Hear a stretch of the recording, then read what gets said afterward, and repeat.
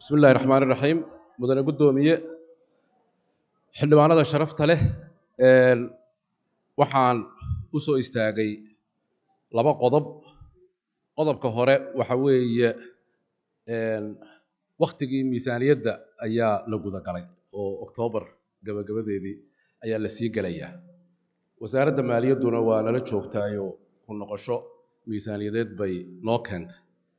Waxaan rajaynayaa inaan codka aqalkan ku hadlayno marka aan cabbirayno arrinta ku saabsan xuquuqdii ka maqnayd xildhibaanada hore in aan ku noqosho miisaaniyadeed iyo miisaaniyad sannadeed iyo xisaabo xir midnaba aydan noogu imaanaynin haddaan arrinkaa meel la saarin.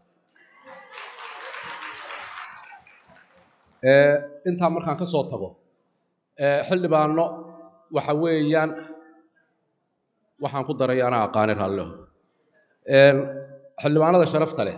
Waxaan idiin sheegayaa xeerkan meesha yaalla. Waxaa akhrinta koowaad aan gelinnay bishii may koob iyo tobankeedii ee sanadkan. Waxaan haysannay shan bilood. Markii la isku khilaafayey oo heer federaal iyo heer dowlad goboleed iyo intaasoo dhan oo safaradaas la gelayey waxaan ogeyn soddonka bishan in layska rabo inuu dhaqan galo sharcigan intaasba waa ogey shan bilood bay soo qaadatay. Fasaxeennii dastuuriga ahaa ayaa ku dhex jiray. Wixii daahay daaheeda waxa weeyaan cid gaara.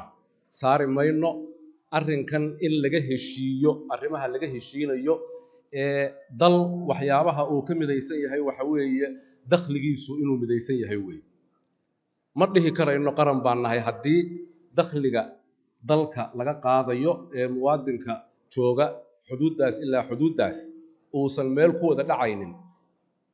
Jamhuuriyad federaal oo soomaaliyeed baan nahay ma dhihi karno. Sharcigani wax kale ma suurto gelinaya wuxuu suurto gelinayaa inaanu dakhli mid ah aanu leennahay oo aan dhihi karayno dal baan nahay. Markaan caalamka la dhaqmayno. Marka wixii khilaafaadkeenna ahee hoose inay annaga gaar noo ahaato laakiin weelka aan caalamka ula tegaynaa inuu hal weel yahay ayay suurto gelinaysaa waxaan idiin sheegayaa inay mas'uuliyaddani tahay mas'uuliyad labada aqal ka dhaxaysa mid walbaana uu xaq u leeyahay inuu helo wakti uu uga baaraan dego.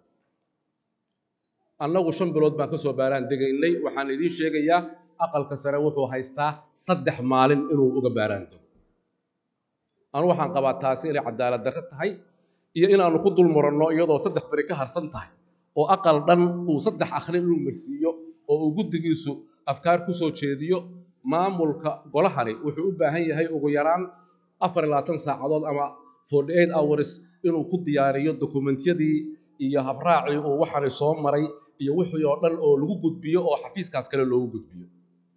Waxay u baahan tahay inay akhrin koowaad marto waxay u baahan tahay in guddigii maaliyadda ee aqalka sare loo gudbiyo waxay u baahan tahay in ay afkaar ku kordhin farsamo ay ku soo sameeyaan.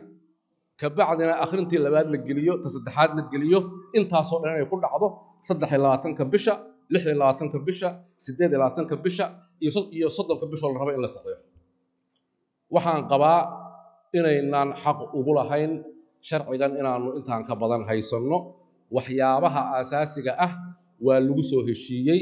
Waxa weeye heer federaal iyo heer dowlad goboleed waa heshiis. Hadda haddaan isku dayo inaan heshiiskaas qodob ka mida aan bedelo heshiiskii meesha waa ka baxaya.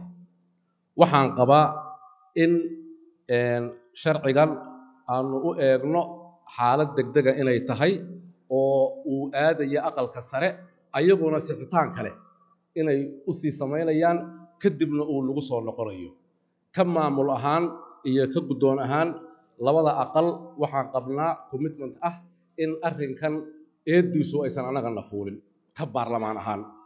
Ayaa labada aqalba laysla qabaa aanu siinno fursad ay ayaguna maadaamaanu shantadayada bilood qaadannay saddexdooda beri aan siinno ayaan qabaa oo arrinkan aynu isdhaafinno aan sixinno wasalaamu calaykum waraxmatullahi wabarakaatu